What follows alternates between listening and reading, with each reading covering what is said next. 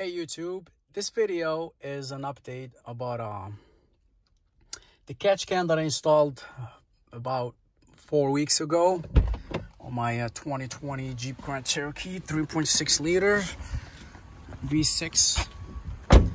Um, I drove about a, a, thousand miles, I would say, and I just wanted to uh, check the uh, the catch can if it did collect anything.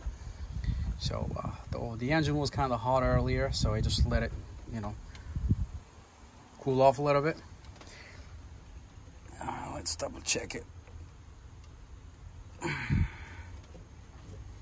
This is the moment of truth.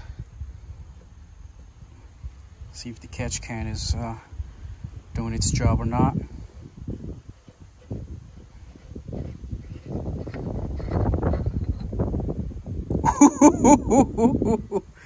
Holy moly. Check this out. So this is a thousand miles after I, uh, I installed it. It's a good amount of oil. Imagine if all this oil is going back to your uh, intake manifold. It's gonna clog the hell out of it. Somebody was telling me uh, as long as um, this is not a turbo engine, you don't need a catch can. Well, my friend, as long as it's uh,